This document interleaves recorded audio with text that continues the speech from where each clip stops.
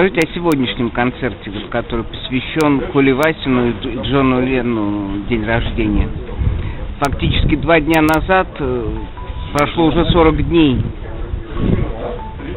Да, два дня назад, э, вот Дима Шагин там стоит. Все собрались на 40 дней церкви. И очень хорошо был наш незаконный Владислав. Он как бы отпевал. Он сказал очень добрый слова. Не слышал речи даже. Отличный наш православный священник. Потом поехали все к Коле Васину на квартиру. Там миски сварили суп. И все его хавали. Здорово. Здорово. Вот, здорово было. А сегодня концерт, первый концерт без Коли Васина, который он организовал, он основатель рок-н-ролльного движения России.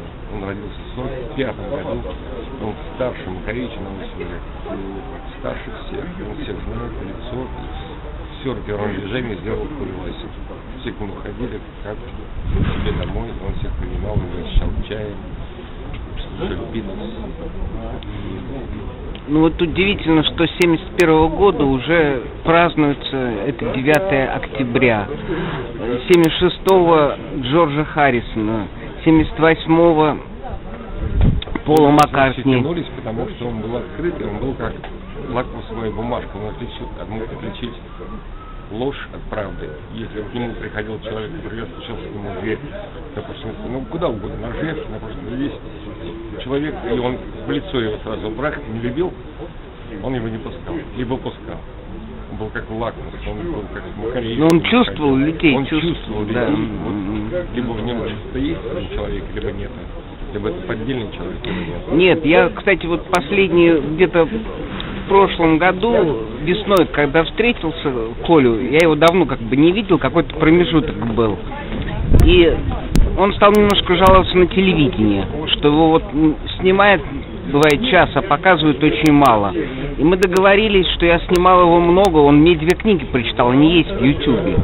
Вот, да, вот, но у него есть еще третья книга, которая посвящена Джону Ленну, не издана, к сожалению. Вот ее судьба неизвестна, и судьба неизвестна коллекции. Должен вложиться в это, и все-таки дадут, я думаю, потому что Кулевасин был личностью, который, ну, к нему всегда можно зайти как к своему.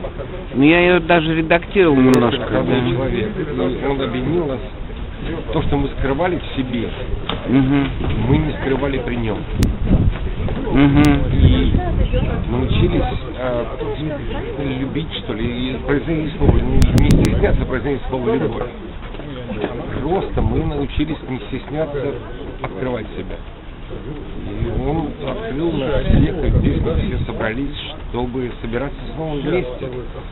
Если Коля Башкин, Коленька наш, ушел, потому что его, он не мог уже терпеть это столкновение, вот этих мух, которые забрались к власти, хотели ему помогать, ничего не хотели, они все забрали за верхушки.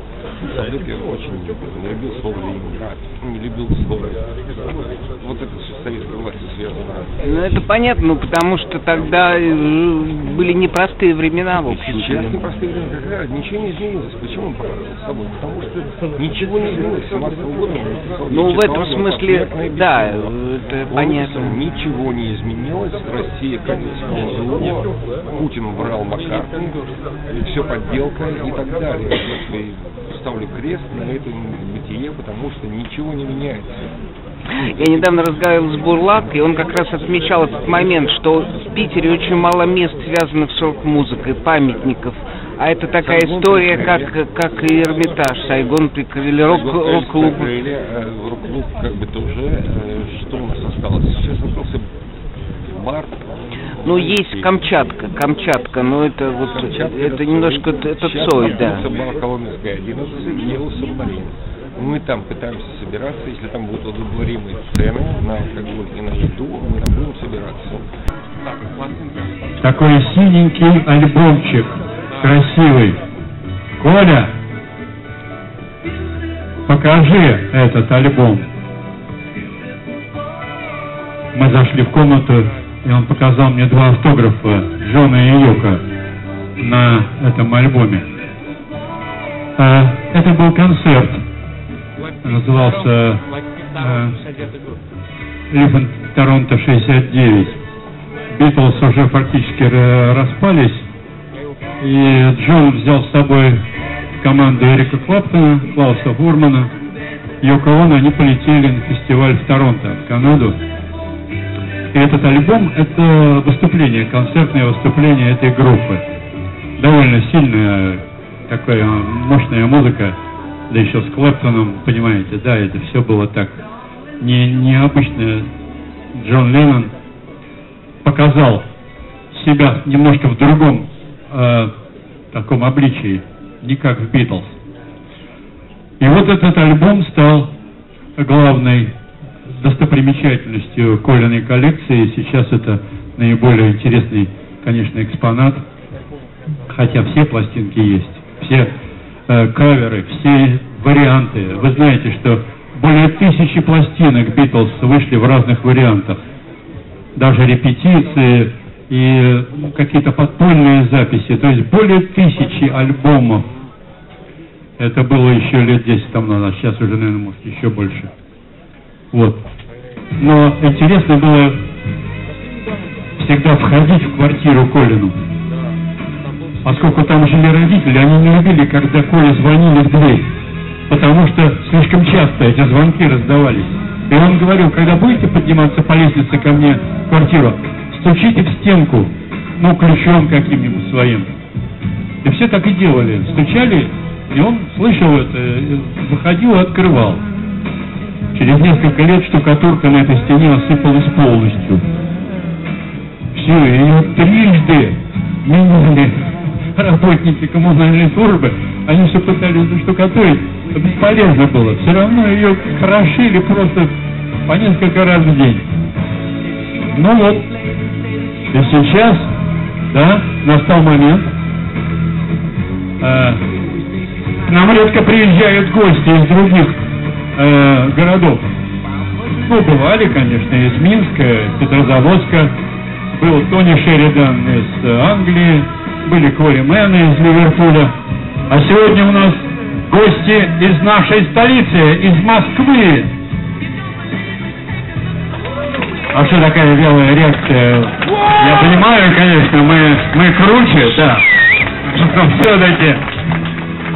А.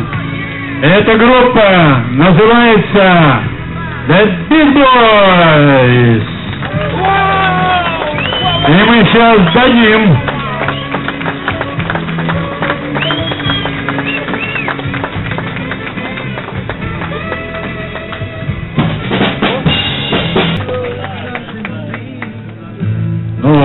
приближаемся к финишу. Сейчас э, будет играть последняя на сегодняшний день группа, но состав ее будет очень большой. Там будет человек такой интересный, который легенда нашего питерского рок-н-ролла. Но чтобы сказать перед этой группой что-то, я приглашу на сцену нашего постоянного гостя Андрея Бурлака. Андрей.